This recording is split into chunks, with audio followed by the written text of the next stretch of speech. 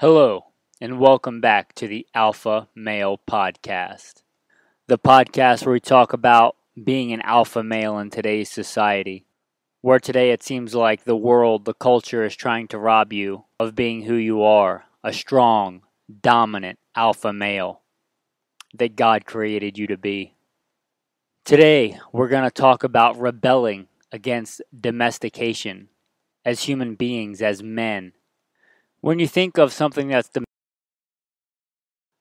all right, guys, with that, I am going to plug in the intro bio. If you don't want to listen because you've heard it before or you don't care, go ahead and skip ahead to three, three and a half minutes in, and you should get into the body of the topic today. Who I am. First and foremost, I am a Christian. I make no apologies for that. I grew up in the South, Southeastern United States, what most would consider poor. Grew up hunting and fishing and shooting at a very early age. I joined the Marine Corps at 17. I did combat tours, plural, in Iraq. After that, I was an urban warfare instructor for the United States Marine Corps. After the Marine Corps time, I went to work for LAPD, where I worked regular assignments and more specialized assignments. I've also been a private contractor for the federal government. I've also served the United States Army, both full time and part time National Guard. I have been a state rifle and pistol champion in a few different states, a few different times over. I started shooting shooting competitions even before I joined the Marine Corps at 17. I am very blessed to have all those talents, and I am very blessed that God got me through everything that He's gotten me through alive and in one piece and made it back safely when a lot of other good men did not. Not because of anything that I am, but because of who God has made me and because of how much God has protected me and sheltered me. I have served as the commander of a tactical team in a large metropolitan area where our primary job is to stock active shooters. I've hunted and fished all over this beautiful country, everything from whitetail on the east coast and mule deer on the west coast, and elk and bear and wolf and exotics, and buffalo. I've been a professional hunter and guide, professional firearms instructor, FBI certified, NRA certified, other three letter government agency certified, professional firearms instructor for a lot of years. And as I mentioned first, the most alpha thing about me is I am a follower of Jesus Christ, the ultimate alpha male. With that being said, we'll get into today's topic. Domesticated. What comes to mind? Something weaker, something more docile and predictable, less dangerous and less intelligent. Now, you can look up studies, and there are studies that show the shrinking of brain size, especially in something like cattle. When we domesticate cattle from their wild ancestors, their brains get smaller in addition to them becoming more docile, more predictable. Also, look at the way they're shaped. Look at like a wild bison versus a domestic cow. Rebel against that domestication.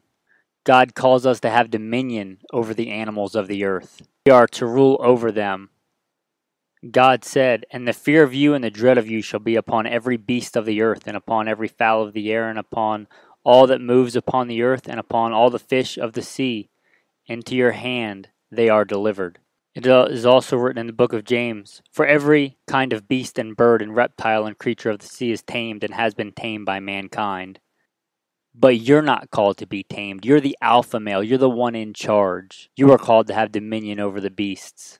They were put in subjugation under you, but you were made in the image of God. God made you in His own image. That's not said about any other creature. You are different. You are set apart.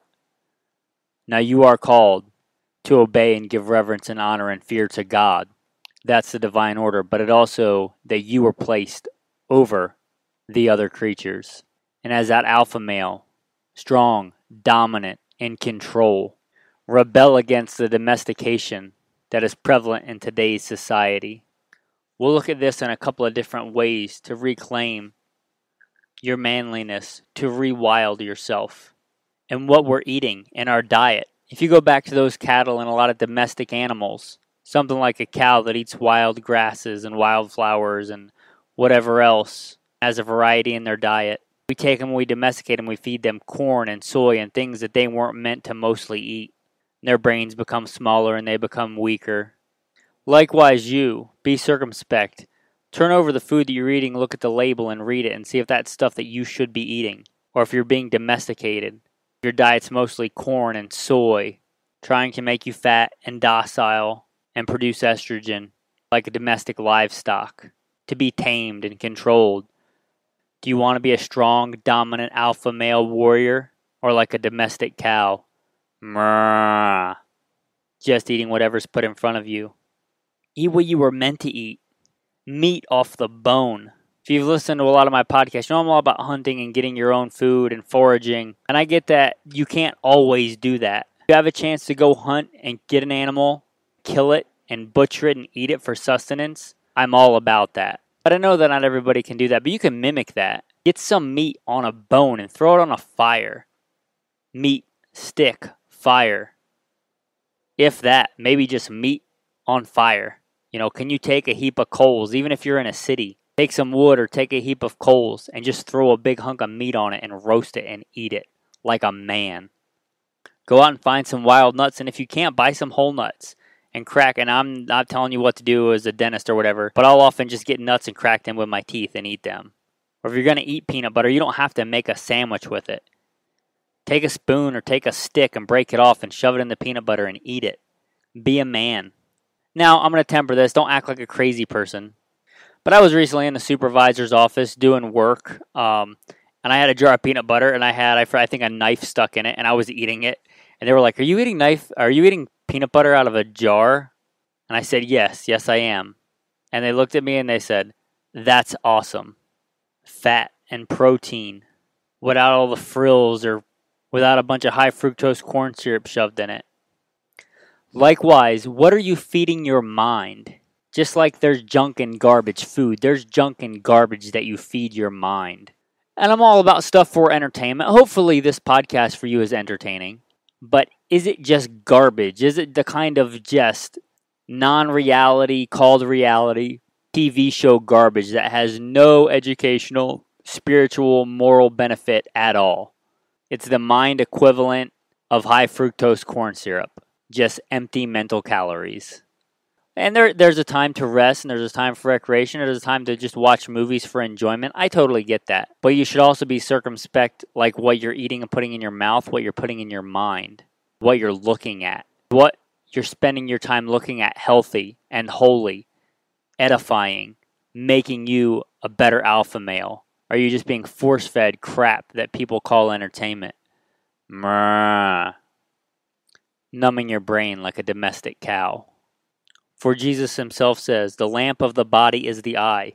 If therefore your eye is good, your whole body will be full of light. But if your eye is bad, your whole body will be full of darkness.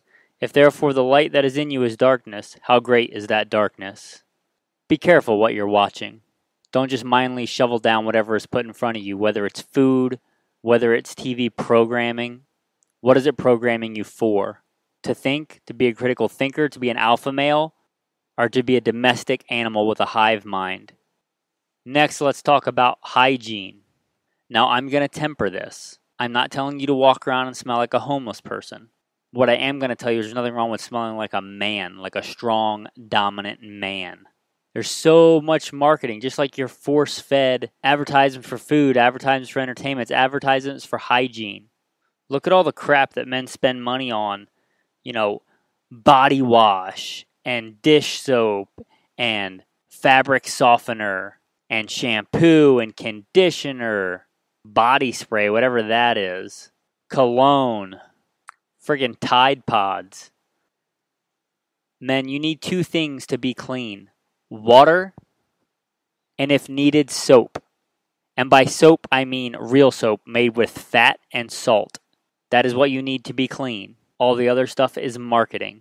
I'm not saying you can't use cologne every once in a while for a special occasion or something like that. But like I said, turn over the food label and read it. Turn over the soap labels and read it. Most of it is stuff you can't pronounce, like dilauryl sulfate. And if you look like the body wash, the shampoo, the stuff you use to wash your dishes, it's all the same stuff. It's all got the same active ingredients, the same thing in a different bottle. You're buying who knows how many bottles of the same crap and different marketing that you don't need, spending money, more importantly, spending your time and energy on it. Like I said, don't walk around smelling like a homeless person, but it's okay to smell like a man. You're a man, you're not supposed to smell like flowers. I'm not pretending that I know everything about women or that I completely understand women. I'm very blessed to have a very wonderful, very beautiful, very smart, intelligent wife. A great gift from God. But I know this about women women aren't turned on by the smell of flowers. Women are turned on by the smell of strong men. And it's okay to get dirty and sweaty. And when it's time, get clean with soap and water. All the other stuff is just a waste of marketing and time and energy and money. Am I saying you should never use it? I'm not saying that. I'm saying it's unnecessary. Ask yourself this Do you have it? Do you think you really need it or you even want it? Or because society says that you should have it? Or because some advertising thing says it's important or necessary? Don't get me started on other stuff like fabric softener. Fabric softener? Fabric is soft. You don't need to soften it. How fragile is your skin? You need to soften fabric to put it on your body as a man? Give me a break. Now I'll go off a bit of a tangent. I know that women, this is not a bad thing. Men and women are different, and that's a beautiful thing about us. It's what attracts us to each other. We are different and have different qualities. And women do have a thing for civilizing us. I'm not against civilization. And women have a way of tempering us, and that's not a bad thing, especially when we need it. There was a time when my wife would come visit me. I was literally living out in the woods, literally, you know, killing animals and eating them, sometimes cooking them, sometimes not, or fishing, or foraging. Basically, reading my Bible, praying, doing ranch work, hunting, killing stuff, eating it, working out. And she was away for a while and came back, and I realized, yeah, you know what? For my wife's happiness, I should probably be a little bit more civilized. And that's fine. But don't think you have to be like a woman. Don't think you have to smell like freaking flowers. Or use fabric softener. Or put peanut butter on bread. If you want salt and fat and protein, eat salt and fat and protein. You don't have to put it on bleached white Wonder Bread.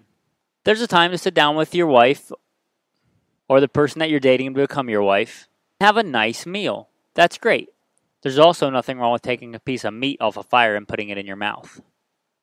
All right, man. Next, let's talk about getting physical, getting aggressive, getting dominant, even being dangerous. Today's culture and domestication tries to beat that out of you. But make no mistake, there is real evil in this world. A quote that I like, I can't remember who said it, is the best thing an unarmed man can do is flee from evil, but evil is not overcome by fleeing from it if I said those words and you got a negative connotation, question whether you're being domesticated. A Navy SEAL team going in to fight terrorists, do you want them to be aggressive? Do you want them to be dominant? Do you want them to be dangerous? Likewise, men or women, if you're listening to this, if somebody breaks into your house, home invasions are a real thing. In the 15 or 20 minutes it's going to take for the cops to likely show up, do you want that man, or if you're that head man in your family, do you want to be dominant and aggressive and dangerous? Or do you want to just stand there? So it's okay to seek out and be aggressive, be physical. Those things can be bad if they're done for the wrong reasons. But if they're done for the right reasons, they can be equally good. Whether it's getting physical, getting aggressive at the gym, in a discipline, in a sport, in a competition, with the pavement on a run. Think about this. People might say that I work out a lot or too much or like an insane amount. On days when I work less than 12 hours, I do two workouts a day. My workouts vary from longer to shorter. Let's say in general, a good average is two and a half hours a day. Two and a half hours a day is almost exactly 10% of my day. 10% of my day doing fairly strenuous physical activity. And not even that much because if I'm doing weights, I'm generally resting in between sets. But let's, for the sake of argument, say 10%. The other 90% is spent doing not super strenuous physical activity in general. And, and, you know, the occasion I happen to get into a fight at work or something, or physically restrain somebody or something like that. But that's not most days. So in general, 10% of the day. Look at whatever the general guidelines are for exercise for an adult male in America. Those are like the minimum guideline in general. You don't keel over and die. For a domestic animal to keep moving and keep producing, and not be a burden on the system. But not the amount you need to be at peak performance, to be a dominator, to be an alpha. Doesn't matter how much money you have or how much physical prowess you have right now. Start doing something physical. Start being physical. Start being aggressive. Start being dominant. Whether it's just on a run, push. Push yourself. Push yourself to be better. Whether it's with a stack of weights, pushing yourself to do more than you could do before. It's okay to be strong and dominant and aggressive in a good, healthy, constructive manner. Men, especially in America and today's culture, and this may not apply to you if you have a manual labor job. Even me, who has a semi manual labor job, I would not think that I get all my physical activity that I need from my job. Men, you are not called to live in a cubicle. That is not a natural environment. It's a natural environment for a domesticated man, but not for a dominant alpha male. Likewise, you, young men who are in school who are learning, I have nothing against learning or education, but question whether it's natural and good to be sitting in a chair for hours and hours on a day, so sedentary. You see the rise in all these psychologically and behavior altering mind drugs that we give young men. And I'm not a doctor. I'm sure that some of those young men do actually have physiological or mental issues that may warrant those. But look at how many young men today are put on medication for ADD, ADHD, whatever, whatever. Look at the giant rise since we started making them sit down for hours and hours on end in a sterile, unnatural environment and asks, have, have those young men really changed so much in such a short amount of time? Has they physiologically changed so much? Or are they just in an unhealthy, unnatural, domesticated environment that they were not created to be in? I'm all about education. I'm all about discipline. I'm all about following orders. But use some critical thinking, the brain that God gave you, and find where the problem lies. Next, we'll touch briefly on speech. Now, we talked about that quote earlier from Paul for every kind of beast and bird, of reptile and creature of the sea is tamed and has been tamed by mankind, but no man can tame the tongue. And that certainly applies to me. Another verse that is helpful Proverbs 17 Even fools are thought wise if they keep silent, and discerning if they hold their tongues. No, I'm not perfect in speech, obviously, and obviously I'm speaking to you here. And obviously, speech is a great thing and a wonderful gift God's given us to communicate with each other. But just like we're talking about garbage that you consume in your mouth and garbage that you consume with your eyes, you can also speak garbage out. Does Jesus not say it's what comes out that defiles? So be careful what you say. Speech, just like we talked about with aggression and dominance, is neither good or bad in itself. It is neither good nor evil. It is not malum in se. It is not evil by nature. It can be a great good and a great blessing. One short thing I'll say about being a strong, dominant alpha male it's not the man that's constantly putting down other men. That does not speak of strength or dominance or being in control. That speaks of being weak and insecure. If you really are an alpha, if you really are the strongest, most dominant, then help others be strong too. There's that old saying, the strong silent type, for a reason. Like we were talking about earlier, there's a difference between being domesticated and being civilized. If you think of one of the very early great civilizations, the Greeks, out of that and that culture, the Spartans. Now, the Spartans were civilized. They came out of one of the very early civilizations. I don't think anybody would call them domesticated. They were aggressive, they were dominant. I don't think anybody would argue with that. They were dangerous. They also were known. One of the other meanings for the word Spartan is to means to be. You'll see references to Spartan speech or laconic speech, meaning simple, frugal, austere, brevity of speech. Do you think it a coincidence that those great warriors that often come to mind when you think of an alpha male were also very direct and deliberate in their speech? Now, obviously, the Spartans came and went long ago, and a lot of those ancient cultures were not exposed to the Word of God, to the Bible, only in only in general revelation. That Greek culture later did, we learn about in the New Testament in the later books of the Bible come to know the ultimate alpha male, Jesus Christ. Jesus Christ, God made man, much more than a man. The most famous, the most historically influential man that ever walked on this earth, by whom we even differentiate time as before Christ and after Christ. Think about his characteristics. Think about him. Think about who he was. He is our ultimate example as an alpha male. The last thing we'll close on that ties in. Jesus is often found among civilization helping people and in cities, but it is also many times recorded that Jesus went out to the wilderness to pray. He went out to the wilderness, to the desert places. You likewise, if you want to resist domestication, the man you were called and created to be, you need may need some time in the wild, perhaps alone, in a more natural environment, away from the culture trying to domesticate you and force feed you junk food and junk entertainment and junk marketing, because that will never fulfill that will never fulfill you in the things that are really important. For it is written, Man does not live by bread alone, but by every word that proceeds from the mouth of God. We are not like the animals like we discussed earlier. We are made in the image of God. We may domesticate animals, and it may even be good for them. Keeps them safe. It gives them, you know, a known quantity of food and diet.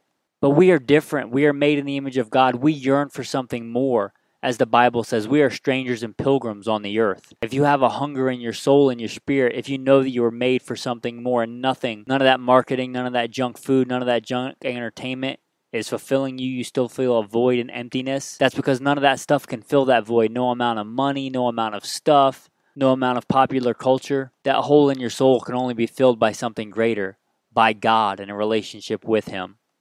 With that, man, I'm going to wrap up this episode. If you like this podcast, you may also like a few others that we do. The important stuff, Simple Man Sermons, the preachings of a simple man called by God to share the good news of Jesus Christ. If you're into guns and tactical stuff, you may also like Gunfighter Life, pretty self explanatory. If you like this content, please consider sharing it with people that you know. Don't forget to like, subscribe, and comment. It really does help. At least from what I hear in the algorithms on wherever platform you're listening this to, it probably will help others notice the podcast. If you want to, if you're a more visual person, you want to check out some other stuff, you can go to goodshepherdtraining.com. It's the umbrella for all those podcasts. You can also check out Good Shepherd Training on Instagram, on Facebook, and again, goodshepherdtraining.com. You want to support financially because podcasts aren't free to produce and put out, you can go to Good Shepherd Training on Patreon check us out there. You also get access to some insider content. You can ask me questions. If you think by God's grace I'm able to be able to use some of the things that I have, give advice. Thanks, guys, and have a blessed day.